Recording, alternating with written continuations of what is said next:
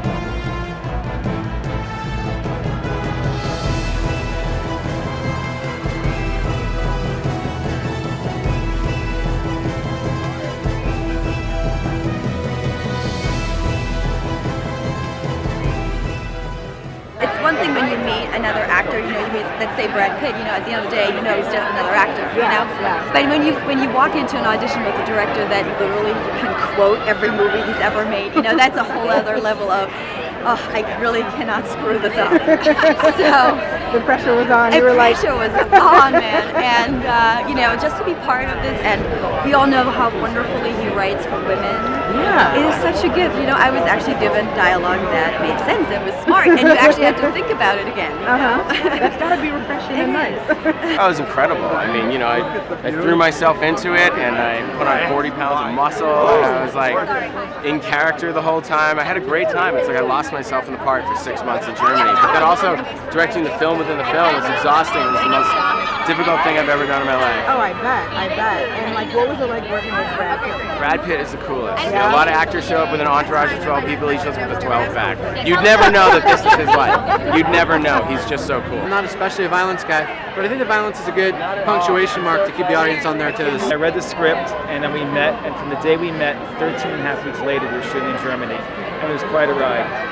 Uh, but there was, if I would say there's one part in this movie that, uh, that was maybe one of the toughest things that I've ever done, and Quentin's probably ever done, is this big fire sequence at the end of the movie. We have to burn down an entire theater with 350 people in it, and how do you do that? And how do you do that in a stage, Babelsberg Studio, that's a historical stage made of wood, and that was a, that was a challenging thing to accomplish. So, I mean, there was a there was a big production challenge in this movie that um, and the biggest thing about it was that Quentin wanted to do all in camera. He didn't want to, you know, do it optic with the visual effects. So um, that was a challenge for sure.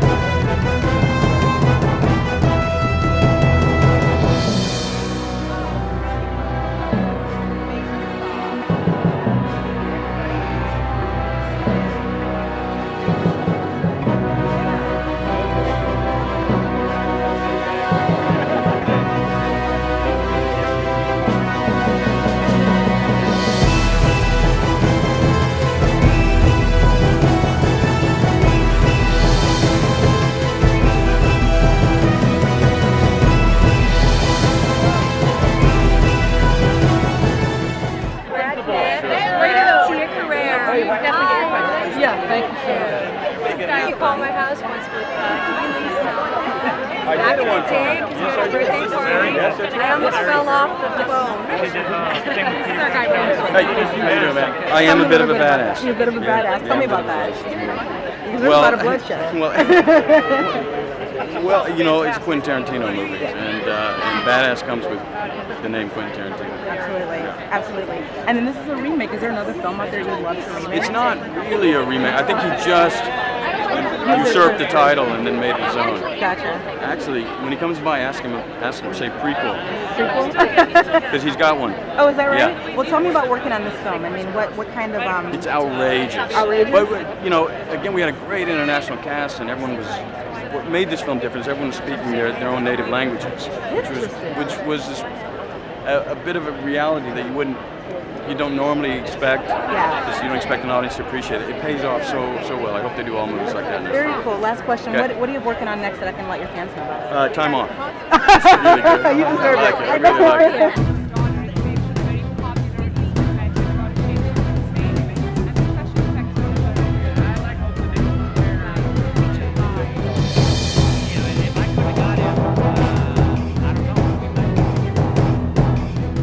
The ideas usually come up from something as simple as, uh, hey, wouldn't it be cool to do a bunch of guys on a mission war movie? All right, now start writing it and it becomes something else and it takes on a life of its own. Before we get there, all right, it is something, uh, it, in fact, I usually think the simpler the idea to sit down, the better.